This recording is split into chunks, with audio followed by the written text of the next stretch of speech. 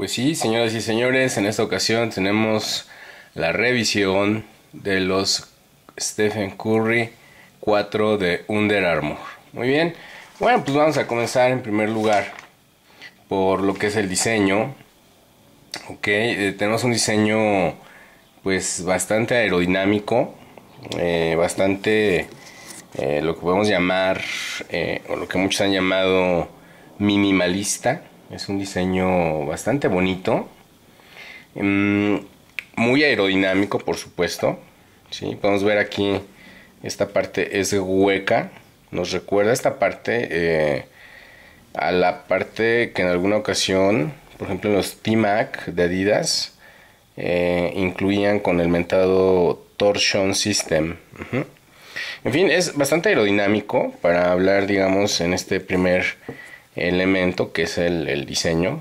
Bastante bonito, muy atractivo y como decíamos, pues bastante minimalista.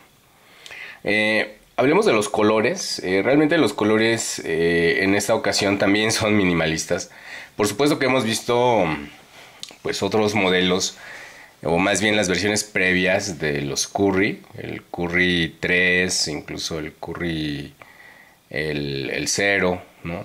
Los, anteriores, pues han sido más coloridos. Eh, los colores en este caso pues son realmente más eh, de tipo bicolor, ¿no? blanco y negro, eh, en este caso suela blanca, cuerpo negro o cuerpo blanco y suela este, pues negra. Entonces los colores también son un poco más sobrios en, esta ocasión, en este modelo. continuando con el diseño, eh, pues eh, realmente lo pensé bien, lo pensé detenidamente. Y es el tipo de tenis, simplemente por el diseño, un diseño que se le puede llamar de bota.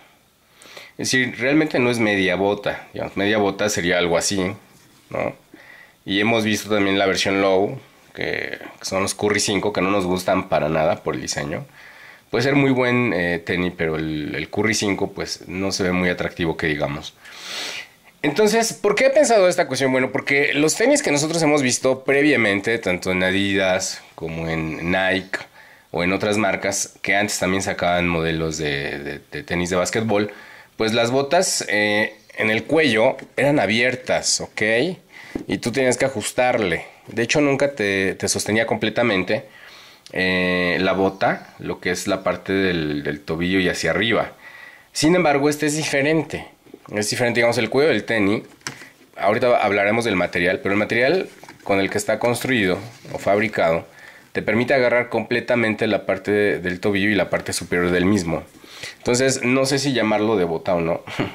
Aunque, digamos, solo school tendría que ser bota. Yo creo que tendríamos que ponerle un nuevo nombre a este, a este tipo de tenis. Que en modelos como, por ejemplo, Adidas, que es el único donde lo he visto, eh, el cuello ya te, del tenis te, soporta completamente, ¿no? La parte superior del tobillo. Bueno, en fin. Eh, hablemos de los materiales, ¿ok? Eh, y comencemos pues por la suela. Tenemos una suela, mm, si tú la ves, mira, se hunde suavecita. Bueno, esta parte, eh, la parte blanca con el logo de Under Armour. Esta parte es bastante más rígida. Y este tenía recibido muy buenas críticas en términos de la tracción de lo que es la suela, ¿ok? Mm, y tenemos esta parte que le da mucho, eh, mucha, pues, eh, sensación de aerodinamismo al tenis que también hace que sea bastante ligero en el mismo aspecto. Y bueno, después de la tracción, que es muy buena, no la hemos checado nosotros en campo, pero ya la estaremos checando, eh, pues se ve estándar, ¿no? El, el soporte esta parte, es suave, o sea, no es dura. ¿Sí? Miren, ¿me explico? Eh, también ya al calzarlo, algunos han comentado que, se siente muy rígido, que ya después que los aflojas, pues ya los, los sientes bien. Pero, pues yo puedo considerar, con la experiencia con los otros tenis, pues que es una suela estándar realmente, no, no hay una diferencia fundamental. O sea, lo que quizás aquí, por ejemplo, los Nike, ¿no? Traen el Zoom son Nike, realmente no me acuerdo, que son los que traen los modelos Jordan y, otros modelos de Nike, que son las almohadillas acá, pero de ahí en fuera es una, una suela estándar, ¿de acuerdo? Bueno, eh, luego venimos por la parte baja del tenis, ¿ok? Esto es un material eh, pues sintético que imita materiales como el, el el, el, Ante o la Gamusa. ya realmente no sé en cuál de los tres está. Pero eh, pues es una asociación bastante suavecita y el color es muy bueno. Eh, la ventaja con estos, eh, con este material es que tú lo puedes, si se te llega a ensuciar, porque normalmente ese tipo de material como es el Notebook, el o la Gamusa, pues parecen imanes de polvo, ¿no? O sea, realmente sí se llegan a manchar bastante. Y entonces, eh, pues si tú los limpias y le das un cuidado bueno, realmente no vas a tener ningún problema. Y aquí el primer comentario, al menos con ese tipo de material, pues es que eh, va a ser un material eh, un poco delicadón, ¿sí? sobre todo para canchas de exteriores, ¿sí? por el polvo que puedes llegar a, generar. Y por lo tanto, pues sí se recomienda que pues, le des un bastante buen uso en outfits, ¿no? Que, que, ocupes para, no sé, para eventos especiales o, o, simplemente pues para caminatas en lugares limpios. Bueno, en fin, eh, tenemos estos tres elementos que tiene, bueno, no tres, sino estas perforaciones que pues le van a dar al tenis eh, una mayor respiración y transpirabilidad a tus pies cuando hagas ejercicio. Eh, quizás aquí pudo haber intentado un poco la cuestión del mesh o la malla, ¿sí? Para que fueran un poco más transpirables, pero bueno, no, tampoco es indispensable, digamos, ¿ok? Eh, luego viene una, suerte de unión, esta parte, es, una especie de vulcanizado, como le llamamos acá en México, que une este material sintético de Antenobuk o gamusa con un material, una microfibra eh, tejida de alta resistencia, ok, y bastante, pues, flexibilidad que es el mentado Knit, ¿ok? En versiones de Adidas o de Nike, eh, por ejemplo en Adidas se llama Prime Knit y es muy bueno. Y en versiones de Nike es Fly Knit.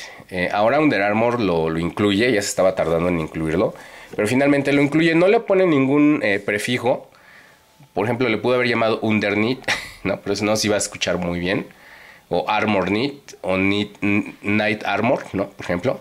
Pero solamente lo menciona así, como Night, ¿no? Que es la eh, microfibra tejida de alta resistencia.